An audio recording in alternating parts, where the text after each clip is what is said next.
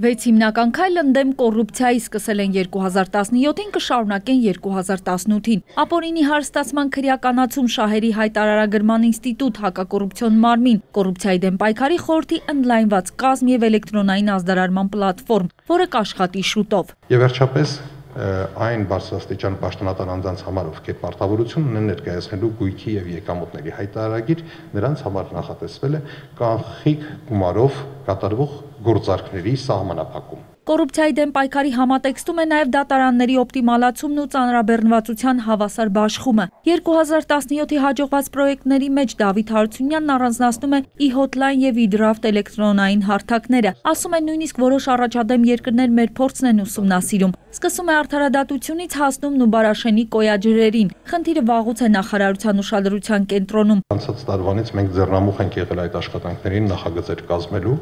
Այս տարի պատրաստվում ենք իրականացնել գնում։ Քրեակատարողական հիմնարկներում առողջապահության հարցը նախարարության համար կարևոր խնդիր է։ Շուտով առողջապահական ծառայությունը կանջատեն քրեակատարողականից եւ այն կանցնի նախարարության ենթակայության տակ։ Ըստ նախարարի սա կօգնի բարելավել համակարգը։ Նելի Հարությունյան, Խաչատուր Եսայան, ժամը լրատվական։